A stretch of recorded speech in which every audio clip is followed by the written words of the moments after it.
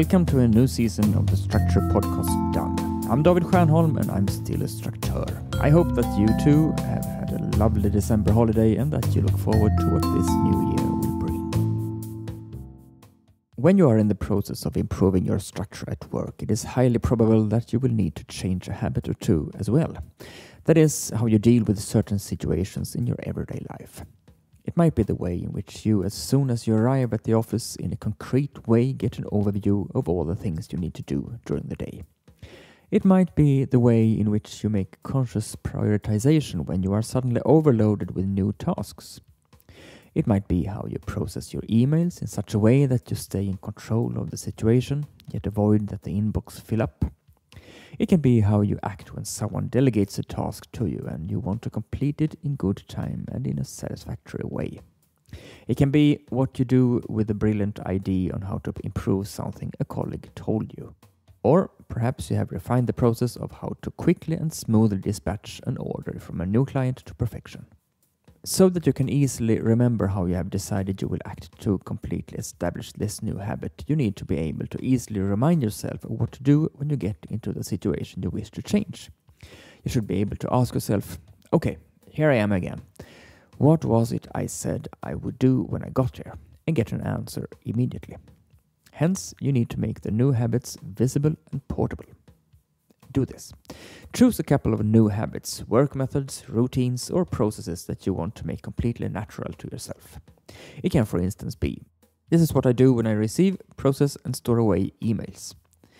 Describe them as process maps with boxes, arrows, and rhombs, or checklists according to your own preferences. With a checklist, I mean an instruction that follows the format 1, 2, 3, etc.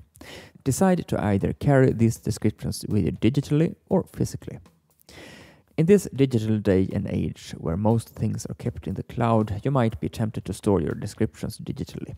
But remember that it is crucial that you can get them out quickly and easily when you need them without having to click, drag, click, wait, zoom, etc. There is also a risk that you forget the instruction even exists if you store it away too deep into the folders on your digital device. But if you choose the digital, easily updated way to keep these lists, save process maps as pictures and checklists as documents, and synchronize them with your phone or add them as a service in Evernote, Dropbox, or some other online storing service with total portability. If you feel like having your lists in a physical format, print the maps and list in pocket size format and either wrap them in plastic or laminate them. For instance, by using the smart plastic pockets from Janoplast, or spray glue them into a soft, thin notebook, for instance, Moleskine's smallest version. Keep the notebook or the plastic wrapped cards in a place where you can reach them easily. Take a moment to really think about this and find a really good place to keep them in, because if you're like me, having to do two things instead of one, like opening a zipper and then opening a lid, is one step too many if I am to really use my lists. Whenever you are in doubt as to what you have decided you want to do so that the results in a particular situation are improved, just take out your description and remind yourself.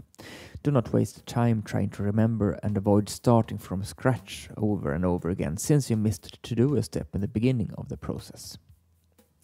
If you describe your refined ways of working in process maps or checklists, as well as make sure to keep them close at hand in your everyday life, you will be able to establish the new habits quicker and with greater ease. You will have them as a supporting tool as long as you feel you need them.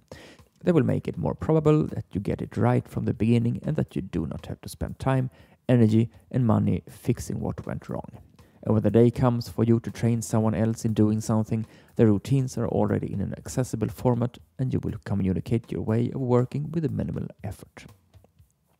How do you make your routines or working methods visible in such a way that it is easy to communicate them to others?